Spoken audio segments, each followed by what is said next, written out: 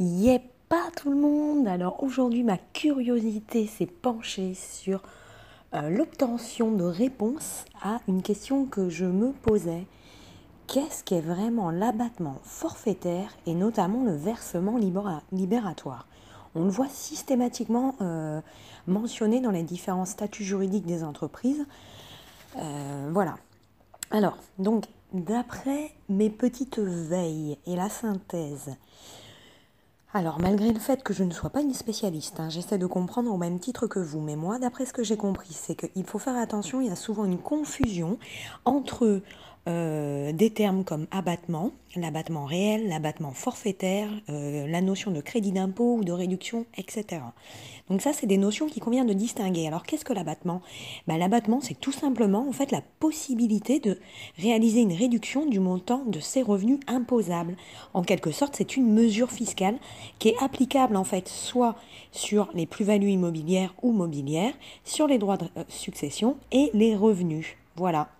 Alors pour vous donner un exemple, par exemple, on peut avoir un abattement euh, dans le cadre de nos frais professionnels. Voilà, cet abattement il se fait soit au forfait, soit au réel.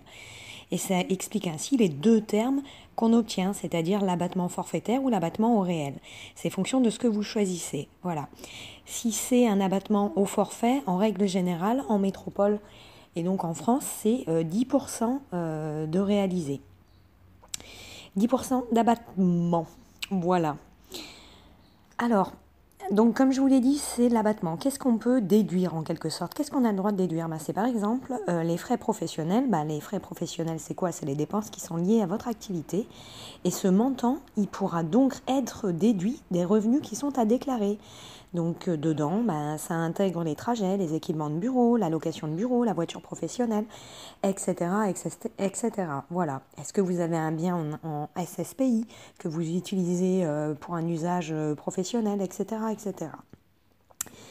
Donc voilà, ça on l'a compris, c'est l'abattement au regard des frais professionnels. Mais il y a également d'autres conditions ou d'autres contextes, je dirais, dans lesquels on peut bénéficier d'un abattement fiscal. Alors par exemple pour les auto-entrepreneurs, euh, donc on voit souvent euh, mentionner en fait que euh, les entrepreneurs doivent aller dans des paradis fiscaux, offshore, s'expatrier, etc.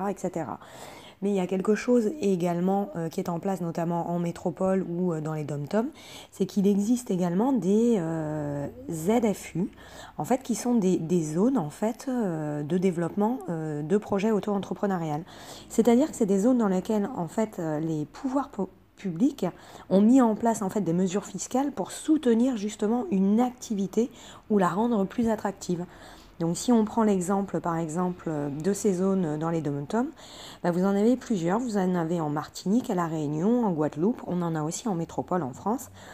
À la Martinique, bah, c'est Fort-de-France. À la Réunion, par exemple, vous avez Saint-André et Saint-Denis, etc., etc. Et ça, ça va vous donner en fait des, abattements possibles sur différentes années.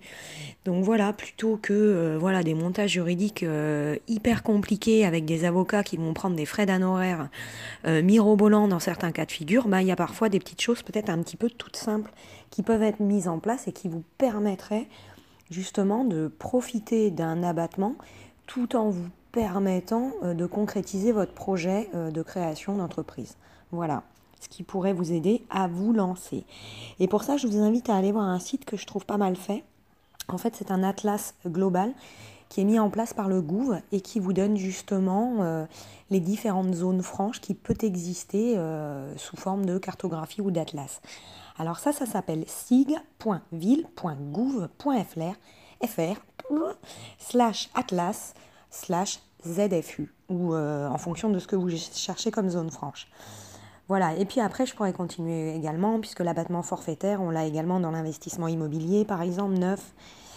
C'est par exemple euh, les investissements réalisés dans le cadre de la loi Cellier que je ne développerai pas, parce que je suis un peu plus portée sur l'entrepreneuriat, mais voilà, dans le cadre d'un dispositif en fait qu'on va dire de défiscalisation spécifique, en fait, l'achat d'un logement neuf, il pourrait normalement atteindre, alors ça c'était euh, en 2014, donc euh, au jour d'aujourd'hui, je vous demande d'aller vérifier.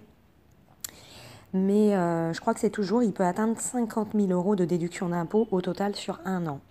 Donc ça, c'est des dispositifs euh, fiscaux qui bougent énormément.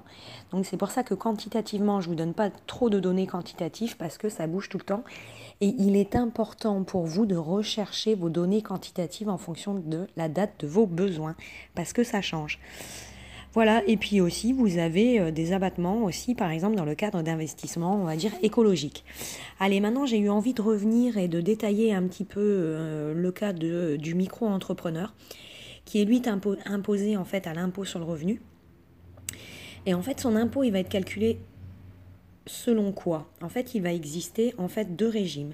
Selon soit le régime micro-entrepreneur de droit commun ou alors un, un régime plutôt sur option. Alors le premier, on va le détailler, c'est le régime micro-entrepreneur de droit commun. En fait, ça consiste à faire une déclaration annuelle de votre chiffre d'affaires. Donc là, vous allez utiliser un imprimé qui est le 2042 C Pro, accessible sur www.impôt.gouv.fr. Puis, en fonction du calcul du bénéfice imposable, ben, euh, vous allez pouvoir, après abattement forfaitaire du CA, déclarer en fait 71% pour euh, des activités autour euh, de la revente, 50% pour les prestations de BIC et 34% pour les BNC, les bénéfices non commerciaux. Donc en quelque sorte, pour déterminer l'impôt sur le revenu qui sera dû, bah, le bénéfice forfaitaire ainsi calculé, lui, il sera soumis avec les autres revenus du foyer fiscal au barème progressif par tranche de l'impôt dû sur le revenu. Voilà.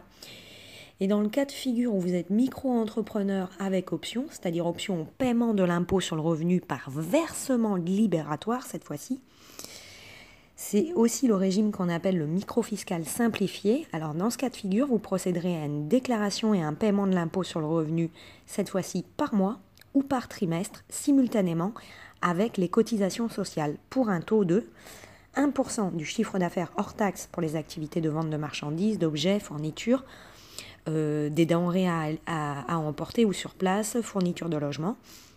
Puis vous aurez un taux de 1,7% du chiffre d'affaires hors taxe pour les entreprises qui, elles, ont une activité de prestation de services et relevant des BIC. Puis vous aurez un taux de 2,2% du CA hors taxe pour les activités relevant des bénéfices non commerciaux, c'est-à-dire les professions libérales, euh, etc. Voilà. Alors, je dirais qu'il y a un nota bene, nota bene. Attention, cette option, elle n'est pas possible si, dans quel cas de figure, le micro-entrepreneur, il bénéficie de l'exonération partielle de cotisation sociale pendant les 24 mois. Ou si le revenu global de référence du foyer fiscal de 2014, il dépasse les 26 764 euros par part de quotient familial. Voilà, donc la demande d'option, elle devrait être faite au RSI au plus tard, normalement le dernier jour du troisième mois suivant, celui de la création pour une application immédiate ou avant le 31 décembre de l'année en cours pour une application l'année suivante. Voilà. Et ce qu'il faut retenir, c'est que le micro-entrepreneur, lui, n'est pas assujetti à la TVA, à la franchise en base de TVA. C'est-à-dire qu'il n'y a pas de versement de, TVA, mais pas de récupération de TVA non plus en ce sens. Donc voilà, je ne suis pas une spécialiste du droit ni une juriste, encore moins malheureusement une avocate. Je suis juste une consommatrice et une entrepreneuse curieuse. Donc voilà, je vous fais part de mes observations et je vous laisse bien sûr les corriger, puisque c'est opinion libre sur mes castes. Je n'ai pas la science infuse. En tout cas, si je peux pousser à la réflexion, déjà je dis yep. Allez, je vous dis à bientôt et n'hésitez pas à aller consulter mes autres castes. Voilà, je vous dis à bientôt, à bientôt. Yep prenez soin de vous.